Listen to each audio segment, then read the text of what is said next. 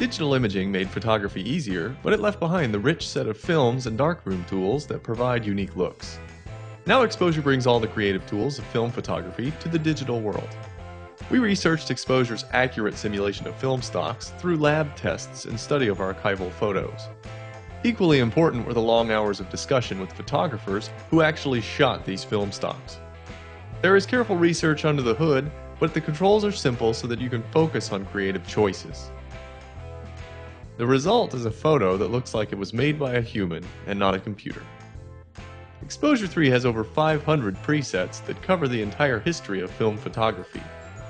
From subtle modern films to vintage looks and funky special effects.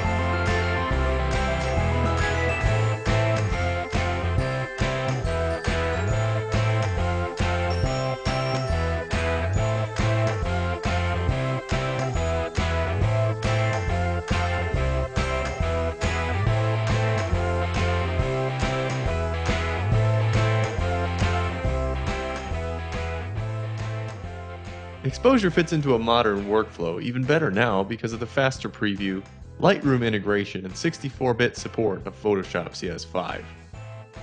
Come to alienskin.com to see the beautiful example images and try the fully functional demo for yourself.